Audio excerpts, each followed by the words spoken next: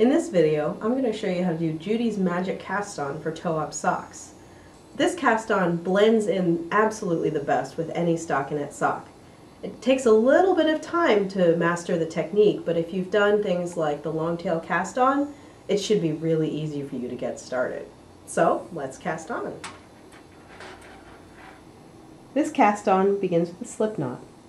You'll want to leave a tail long enough to cast on half of your stitches because you'll be using both the tail and the working yarn to cast on stitches. Place your slip knot on the needle that will be on top. So if you're using DPNs, place one DPN over the other. If you're doing magic loop, have both points facing out. Take the tail of the yarn and wrap it over your index finger of your right hand. The working yarn will go around the thumb of your right hand. With your index finger, wrap the tail of the yarn underneath the bottom needle, over the top, and between the two needles. Use your thumb to bring the yarn underneath the tail and underneath both needles down through the middle. Then you position your hands back where they started and begin again. Using your index finger to wrap the yarn around the bottom, your thumb to wrap the yarn around the top.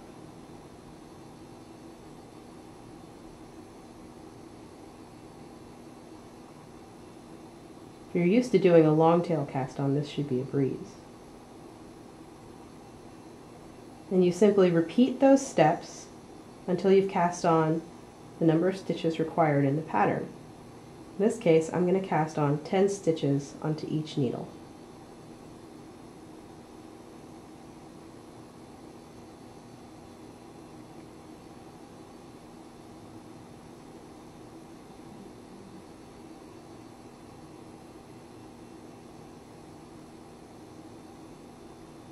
Now, once you've cast on all of your stitches, if you have an even number on both top and bottom, or I should say the same number of stitches on both top and bottom, the yarn around your thumb, which is the working yarn, is ready to be used for knitting. And it'll come around the bottom, grabbing the tail of the yarn, ready to knit across the top. If you're using magic loop, pull the bottom needle out and position it ready to begin the next round. Using DPNs, you'll want to grab a second DPN and simply begin knitting.